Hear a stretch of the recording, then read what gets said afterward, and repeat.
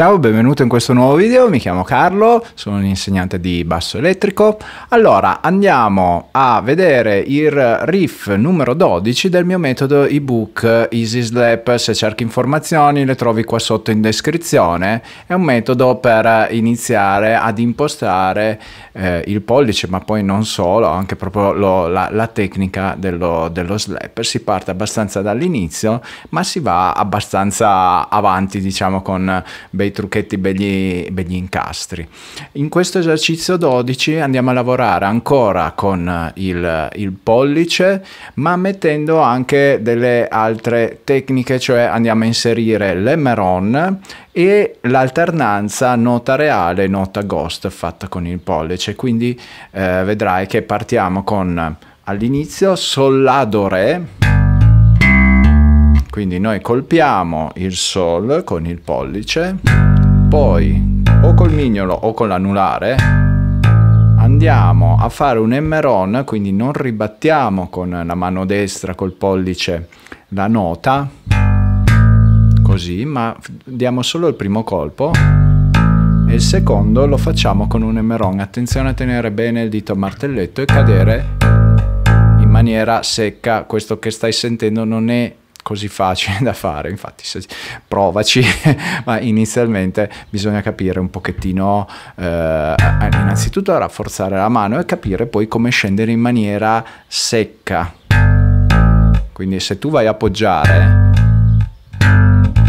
non, non, esce poi quella nota, o almeno si fa fatica all'inizio. Eh, alterniamo quindi sulla corda di Mi e sulla corda di La, Sol, La, Do, Re. Ok? Sono ottavi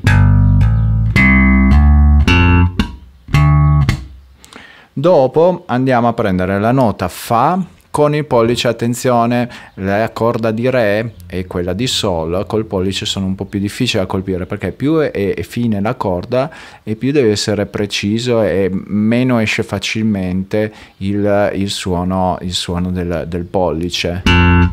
Quindi dobbiamo tra l'altro farne uno reale, un Fa reale e uno con la Ghost. Nella Ghost è la mano sinistra che va a bloccare perché la destra colpisce come se dovesse suonare una nota reale.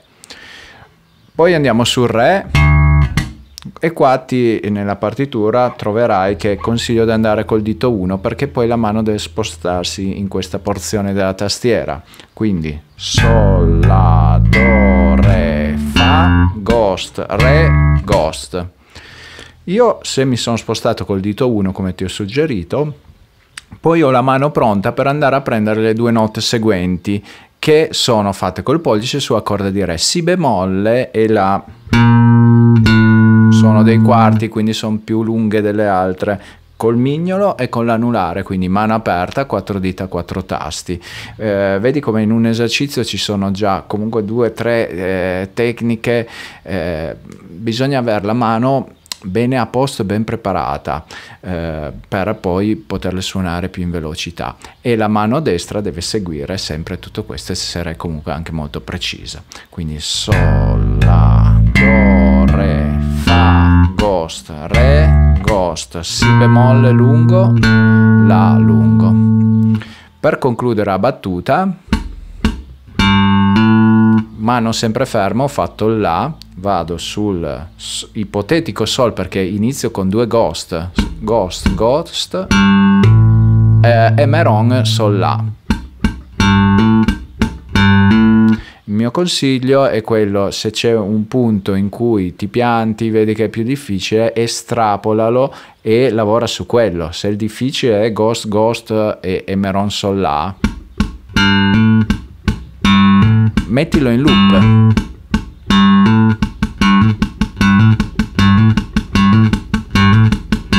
Finché verrà pulito e allora lo puoi inserire poi nel resto.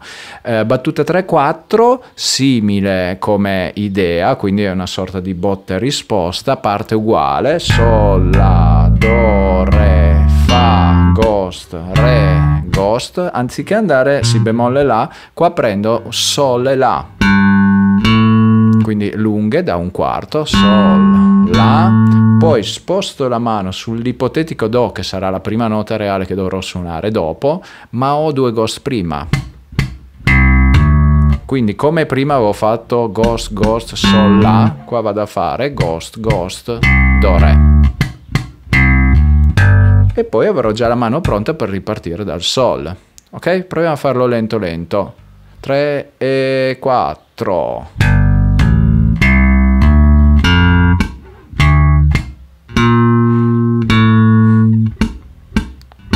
Riparto